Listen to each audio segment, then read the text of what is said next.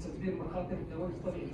من مجلس من مجلس الجهات طنجة الإخوان المسلمة بالمساهمة إلى جانب المؤسسة الوطنية للحد من حد من عدة مخاطر الكوارث الطبيعية أحدث مجلس الجهات بالشراكة مع المعهد العالي تابع للجامعة مقصدا للزلزال الإقليم المسلمة يهدف إلى استشعار مخاطر الزلازل وتحسيس مخاطرها من خلال استثمار الوقايات العلمية والتكنولوجيا الحديثة في هذا المجال.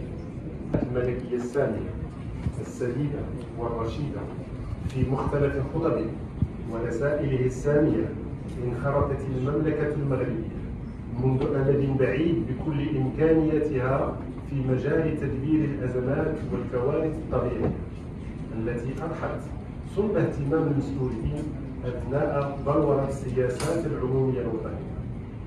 ولعل أكبر مثال التدبير العقلاني والمتميز لزلزال الحوض الأخير. غير أن الزلازل دونا عن بقية الكوارث الطبيعية الأخرى تفرض اهتماما خاصا من كل حكومات العالم نظرا لما تخلفه من تداعيات خطيرة يصعب تجاوزها على المدينين المتوسط والقريب. أن العالم اليوم أصبح أكثر من أي وقت مضى معرضا لمخاطر الكوارث الطبيعية وتداعياتها الخطيرة الاقتصادية والاجتماعية حيث بات من المؤكد ازدياد تعرض تعرض كوكبنا لهذه الأخطار جراء التغيرات المناخية غير المسبوقة. فلقد خلفت الكوارث الطبيعية بين سنة سنتي 2000 و2012 حوالي مليوني قتيل وخسائر اقتصادية تقدر ب 2 تريليون دولار حيث خلفت تسونامي مثلا تسونامي سوناترا الذي ضرب سواحل إندونيسيا سنة 2000 أكثر من 250 ألف قتيل. إذا يأتي انعقاد هذا المؤتمر الدولي في نسخته الأولى بعد كارثة الزلزال التي ضربت منطقة الحوز والتي خلفت خسائر مادية وبشرية جسيمة وهي فرصة من أجل تدارس عدد من القضايا العلمية المرتبطة بظاهرة الزلازل خصوصا وظاهرة الكوارث الطبيعية على وجه العموم. في هذا المؤتمر يلتئم نخبة من الباحثين والأكاديميين والخبراء من المغرب من إسبانيا وكذلك من البرتغال من أجل تدارس وفهم أعمق لظاهرة الزلزال والكوارث الطبيعية ومن أجل تحديد سبل التدخل والإنقاذ. في هذا المؤتمر ستشكل منصة علمية سيتم استثمارها لاحقا من أجل مساعدة ذوي القرار على وضع الاستراتيجيات التدخل وكذلك المخططات التنموية في المناطق المتضررة من الكوارث الطبيعية عموما. طبعا يأتي تنظيم هذا المؤتمر آه، في سياق آه، الفاجعة التي عرفتها منطقة الحوز في سبتمبر الماضي مباشرة بعد هذا الحادث المفجع الذي عرفه المغرب. فكرنا في عقد ندوة دولية آه، موسومة بالصمود وتقوية الصمود والتأقلم مع الكوارث الطبيعية واخترنا موضوع هذه الدورة آه، خطر الزلازل كتيمة أساسية التي ستكون محور هذه الندوة. طبعا برنامج الندوة هو غني بالمداخلات التي حرصنا على أن تكون المداخلات من مختلف التخصصات والمشارب العلمية. لكي نعالج آه، خطر الزلازل والكوارث الطبيعية بشكل مندمج أن تكون يعني رؤية مندمجة لهذا الخطر.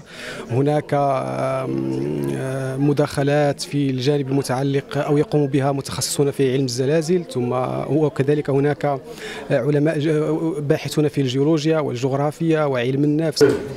بمعنى أن التكفل هو اللي تشرح له قبيلات بان ما عندناش مختصين في المساله عندنا مختصين في مجالات ربما بشكل نظري ربما ربما ولكن في l'urgence و l'urgence هنا ما خصنا ناخذوها غير في اللحظات الأولى. كاينة une urgence بمعنى راه ممكن نوفروا الجانب المادي كامل.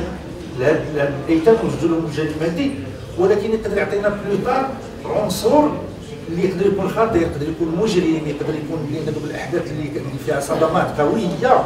اذا ما كانش المتابعه ديالها إلا ما درنا لهاش واحد النوع ديال الترونسفير. اذا لابد ضروري أنا في نظري لأن إحنا سمعنا القانون هو كاين. نعتقد بأن هذا المؤتمر التي أتى بعد ربما مدة قصيرة مع العلم بأن كانت مؤتمرات قبل هذا المؤتمر. اولا أنها تذكرنا بأن آه، قضية الزلزال أو الكوارث الطبيعية هي حاضرة وتخرجنا مما أسميه وهم الخلود. فإذا مداخلتي آه، كانت في اتجاه أن أن الزلزال الأخير هو ذكرنا بشيئين مهمين جدا. أولا موجة التضامن المغربي وهذا يشهد لنا على أننا شعب له ثقافة مرسخة منذ قرون. الحضور اليوم ديالنا في هذه الأشغال ديال هذا الملتقى الدولي حول الزلازل. لتبيان الدور المديريه العامه للأمن الوطني في تدبير هذه الأزمة. بطبيعة الحال ب آه، آه، انتقال واحد المجموعة ديال ديال العناصر الأمنية إلى عين المكان كأول وهلة. بطبيعة الحال من بعد ذلك تكون هناك مجموعة من الفرق المتخصصة التي تنتقل إلى عين المكان للمساعدة في آه، تدبير هذه هذا أو هذا الخطر.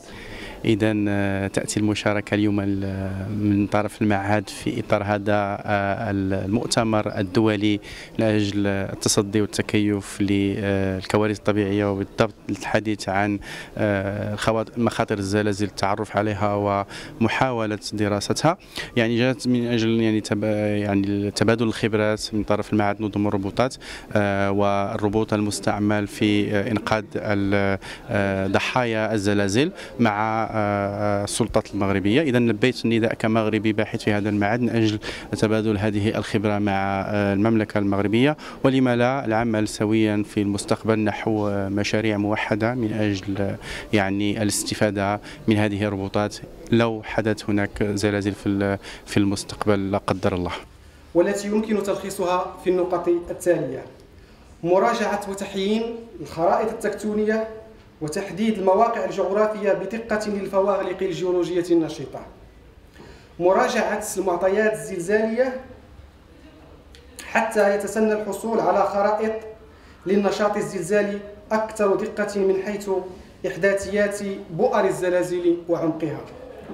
وضع المعطيات الزلزالية الوطنية رهن إشارة التعاون رهن إشارة التعاون العلمي بين الباحثين الجامعيين والمعنيين بهذا التخصص.